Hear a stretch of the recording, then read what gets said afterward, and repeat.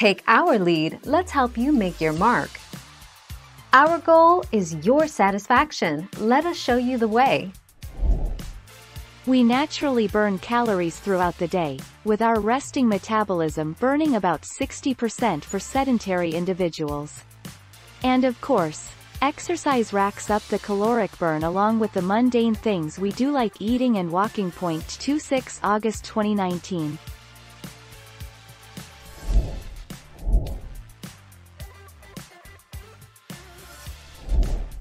Take our lead.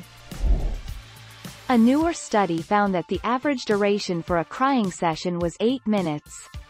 If you're concerned that you're crying too much, if you can't seem to stop crying, or have started crying more than usual, talk to your doctor.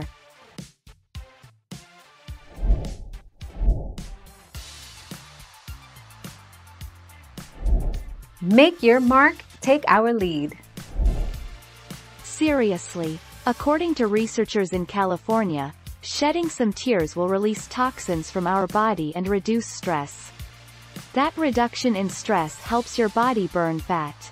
Aaron Neufeld, Emotional crying promotes weight loss by stopping the production of hormones that make your body store fat. 9 July 2019. Thank you for watching. Please subscribe and hit the bell notification.